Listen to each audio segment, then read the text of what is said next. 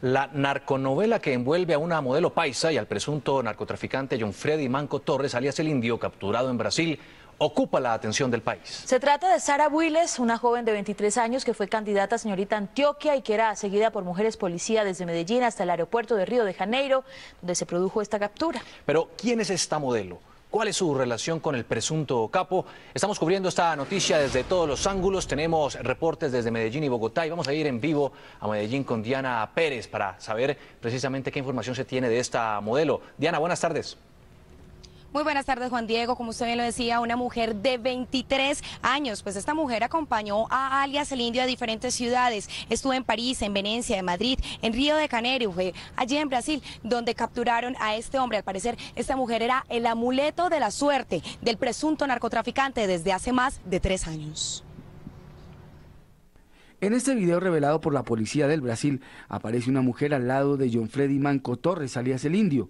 Se trata de la modelo paisa Sara Willes Torres, de 23 años de edad y cotizada en el mercado publicitario del continente. Los más recientes videos los hizo para una campaña publicitaria de una empresa de televisión por cable. Sus orígenes en la pasarela empezaron como adolescente. Fue aspirante al trono de señorita Antioquia, pero el modelaje es lo suyo. La inteligencia de la policía venía siguiendo sus continuos viajes a España, donde estaba radicado alias el indio, prófugo de la justicia y uno de los hombres de confianza del narcotraficante y paramilitar Daniel Rendón Herrera, alias Don Mario.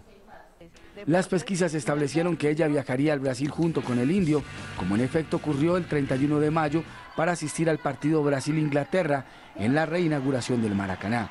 El Gaula de Colombia cruzó la información con la Policía Federal del Brasil y la Interpol y se logró la detención del indio y como contra ella no había ningún requerimiento por parte de las autoridades colombianas ni tenía antecedente alguno con la policía del Brasil, se le permitió salir a su país a través de un vuelo, al parecer pago desde Colombia, en la ruta Río-Panamá-Medellín. En Colombia la Fiscalía hasta el momento no tiene nada contra la modelo, a la que sin duda le seguirán con lupa la adquisición de cada uno de sus bienes. Esta mujer también era reconocida en Medellín porque era modelo de diferentes pasarelas de la feria Moda para el Mundo. Igualmente fue la imagen de diferentes productos de campañas publicitarias y asimismo hizo parte del reality de Señorita Antioquia 2009. Ella es Sara Willis. Soy Sara Willes Torres, aspiro a ser señorita Antioquia. Ni en Facebook ni en Twitter se conoce sobre la vida de Sara Willis, quien según las autoridades era novia del narcotraficante John Freddy Manco Torres, alias el Indio, desde hace tres años. La joven participó en el reality que elegía a la señorita Antioquia del año 2009. Juan Carlos Sierra era productor del concurso de ese año. Afirma que Sara Willis era una niña bonita, pero que no ganó el reality. Una niña normal, sencilla, con muchas aspiraciones de de ser señorita Antioquia. Nació hace 23 años en el barrio Calasanz, en el occidente de Medellín. Estudió en el colegio Salazar y Herrera. Inició carrera de administración en hotelería y turismo. En la participación de la señorita Antioquia quedó entre las 10 finalistas. Miramos que sea una niña de buenos principios, que venga de una familia con principios. Eh, cuando ya nos dicen que tienen novio o alguna cosa, pues nosotros sí tratamos de mirar como quién es su novio para que no tengan problemas, no tengan inconvenientes. En ese entonces, no, creo que no tenía novio. Después del concurso, Willis fue reconocida en Medellín por hacer pasarela en la feria Moda para el Mundo y ser la imagen de varias marcas famosas a nivel nacional e internacional. Del celular es igual. Pero es que este no es la única historia de este tipo. Varias mujeres han sucumbido a ese mundo de lujos y derroche de narcotráfico. Estos son algunos ejemplos.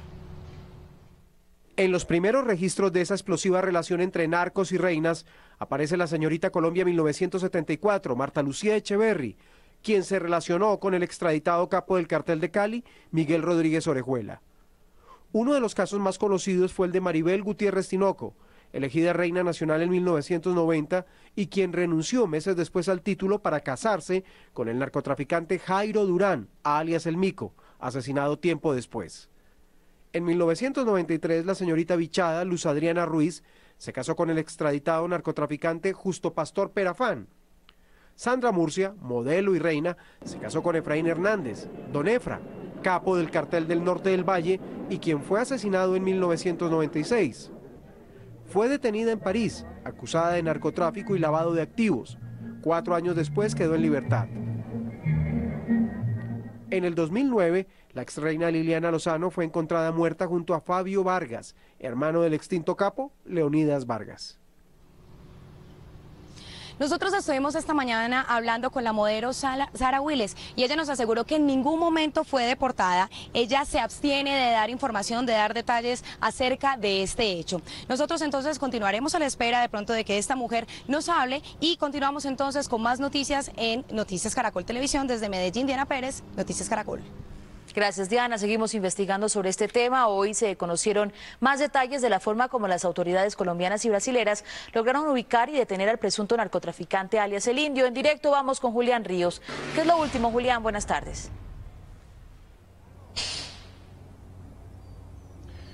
Bueno, muy buenas tardes. Pues la captura de alias el indio se produce gracias a una investigación que se adelantaba precisamente aquí en la Dirección Antisecuestro y Extorsión de la Policía Nacional. Varios agentes eh, de inteligencia adelantaban unas pesquisas sobre el secuestro de tres personas y llegaron a una red de falsificadores de documentos y pasaportes. Al indagar sobre estos pasaportes descubrieron que alias el indio había obtenido a través de esa red un pasaporte que lo llevó a Panamá, a Europa y luego al Brasil. Le siguieron la pista y precisamente el fin de semana los detuvieron. El general Humberto Guativonce, director del Gaula de la Policía, nos ha entregado nuevos detalles de este operativo. El rostro de John Freddy Manco Torres alias El Indio se conoció por primera vez cuando fue capturado junto con su primo Camilo Torres alias Fritanga y el empresario Felipe Sierra. Su nombre se hizo más popular cuando el polémico ex juez Luis Eduardo Beltrán los dejó libres, lo que hizo que la fiscalía lo investigara y terminara tras las rejas. Luego de quedar libre, el rastro de alias El Indio se había perdido, pero los agentes de inteligencia no se dieron por vencidos. El Gaula de la policía dio con su pista en una investigación contra una red de falsificadores de documentos. Que provee documentos falsos que parecieran verdaderos a, a ese tipo de delincuentes a través de una persona nos enteramos que él había viajado a Panamá. Y descubrieron que Manco Torres había obtenido un pasaporte falso a nombre de Iván Darío Gallego González. Y así le siguieron la pista por Panamá, Europa y Brasil, en donde se movía como pez en el agua. Nos eh, eh, enteramos que había viajado a Panamá y que posiblemente de Panamá había viajado a Europa. En Europa eh, esa persona se movía por diferentes países, estuvo en Italia, estuvo en Francia, luego en España y finalmente nos enteramos que, que España viajó a Brasil, donde finalmente fue capturado. Los investigadores quedaron sorprendidos cuando descubrieron que su novia era la modelo paisa Sara Builes, quien de inmediato comenzó a ser seguida por varias mujeres detectives del Gaula. Sabemos que ella estuvo en España, ese año había estado cuatro veces en España, y había viajado antes allá, había estado en el mes de enero, en febrero y en abril. Y gracias a varias interceptaciones telefónicas los ubicaron en el aeropuerto de Río, en Brasil, a donde habían llegado para asistir al partido entre Brasil e Inglaterra. Llevaban 40 mil dólares que la mujer intentó reclamar. Cuando fue detenido en, Brasil tenía en su poder 40 mil dólares. Eh, y le dijeron a ella que como no tenía ningún delito, pues debería abandonar inmediatamente el país. Entonces ella pidió dinero y le dijeron la autoridad brasileña que el dinero estaba decomisado. Alias el indio será deportado en los próximos días y aquí tendrá que responder por secuestro, homicidio y narcotráfico. El general Humberto Guateón se ha comunicado durante toda la mañana con las autoridades del Brasil. Ellos les han informado que en los próximos días será entregado a las autoridades colombianas y que será deportado aquí a Colombia, alias el indio. Desde el norte de Bogotá, Julián Ríos, Noticias Caracol. Vamos a Sao Paulo, en Brasil. Ahí se encuentra Beatriz Luz Correa de nuestro canal aliado Ben News con más detalles sobre la captura de John Freddy Manco Torres, alias el indio. Adelante, Beatriz. El narco colombiano El Indio fue detenido cuando llegó a Brasil para asistir al partido Brasil-Inglaterra que se jugaba el domingo pasado. Su captura fue posible gracias a una circular hoja expedida por la Interpol.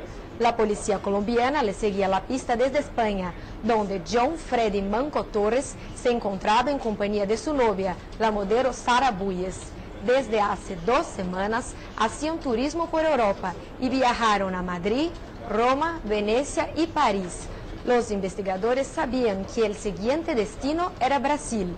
El objetivo era concretar la captura en España. Sin embargo, los agentes perdieron su rastro por un breve lapso. Entonces, decidieron coordinar la detención con las autoridades brasileñas. La pareja fue capturada al desembarcar en el aeropuerto Antonio Carlos Robín el viernes. Viajaban con 33 mil euros.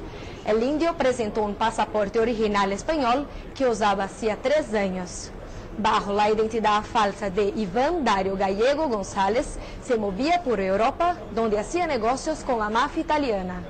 Su novia modelo, que al parecer fue pieza clave en el seguimiento, ya fue deportada a Colombia.